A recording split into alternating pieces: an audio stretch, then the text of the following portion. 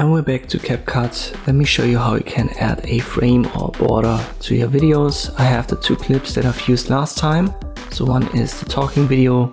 It's, let's just say a streaming, a commentary kind of clip and you want to overlay it. What you want to do to add a border is to drag it into your timeline first, which is important. And I use the default layout. I'm on the basic video and I scroll down. There is the canvas in the current version. Select color in the drop down and then pick a color that you want for your frame. I'll make it white. And if I scale this down now, so let me scroll up, you can see we have a white background. This is what the canvas generates. Next step is to right click on this clip in your timeline and make it a compound clip. G is the shortcut for it. And now the clip and the background, you could say are one element.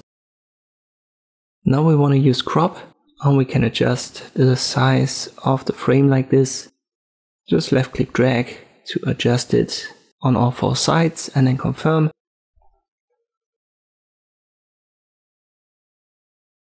Then drag the other clip in your timeline, rearrange it so that your commentary is on top.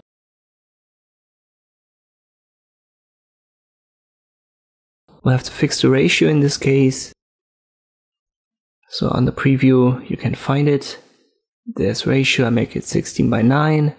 And here's our commentary. I'll reposition it, left click drag.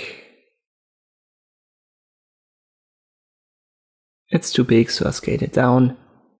And maybe the border was a little bit too thick.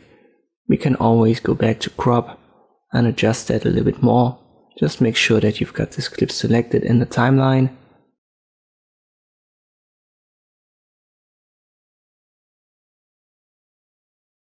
We'll confirm.